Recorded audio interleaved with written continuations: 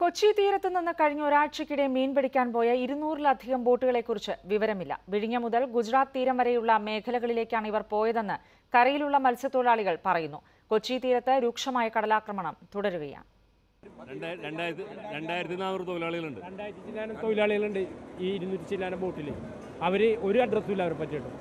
ഓഖി മുന്നറിയിപ്പ് അറിയാതെ ഒരാഴ്ച മുമ്പ് കടലിൽ പോയ വലിയ ബോട്ടുകളാണ് തിരിച്ചെത്താനുള്ളത്. ഇന്നലെയും ഇന്നുമായി നിരവധി ബോട്ടുകൾ തിരിച്ചെത്തേണ്ടതായിരുന്നുവെന്ന് മത്സ്യത്തൊഴിലാളികൾ പറയുന്നു. ഇവരെ ബന്ധപ്പെടാനാകുന്നില്ല. മറൈൻ എൻഫോഴ്സിന്റെയും നേവിയുടെയും സഹായത്തോടെ ബോട്ടുകൾ കണ്ടെത്തുവാൻ ശ്രമം തുടരുകയാണ്.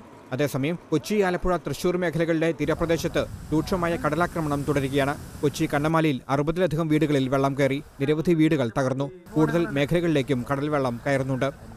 വൈപ്പിൻ തീരത്തെ എടവനക്കാട് അണിയിൽ കടലാക്രമണത്തെ തുടർന്ന് അൻപതിലധികം കുടുംബങ്ങളെ മാറ്റിപ്പാർപ്പിച്ചു. റവന്യൂ ഉദ്യോഗസ്ഥർ സ്ഥലത്തെത്തിയിട്ടുണ്ട്. കൂടുതൽ ആളുകളെ മാറ്റിപ്പാർപ്പിക്കുവാനാണ് നീക്കം. ഇനിയും ഇപ്പൊ ആശങ്കയോട് ഇരിക്കണം അതായത് ഉള്ള കുടുംബങ്ങളൊക്കെ ഇപ്പൊ സ്കൂളുകളിൽ സർക്കാർ സ്കൂളുകളിൽ കൂടെ ആക്കിയേക്കാണ്. ആക്കിയേക്കാണ്.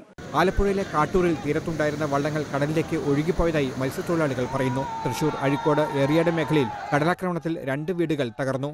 ഏഷ്യാനെറ്റ് ന്യൂസ് കൊച്ചി തൃശൂർ.